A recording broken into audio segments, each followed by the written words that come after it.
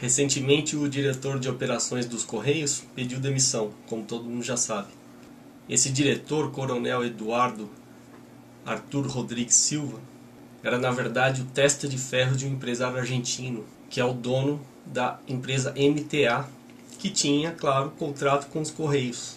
Esse próprio coronel, diretor dos Correios, ou melhor, ex-diretor, já presidiu o MTA. E para piorar, quando esse coronel assumiu a direção dos Correios, ele entregou o comando da MTA para a filha dele.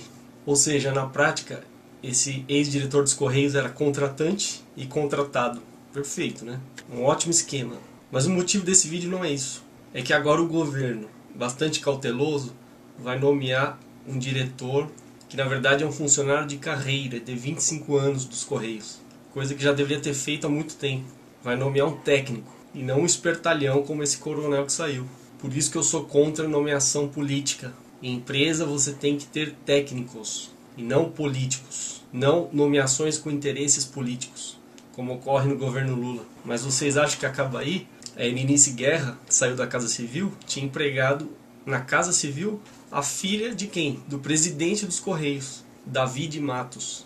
Aí a moça, já, que já foi exonerada do cargo, está livre de qualquer punição. Em outras palavras, se você conseguir um cargo na Casa Civil ou onde for, por indicação de papai ou mamãe, e sair antes de ser punido, a Controladoria Geral da União vai dizer que está tudo bem, não houve nepotismo, não houve nada. Isso é Brasil, isso é governo Lula.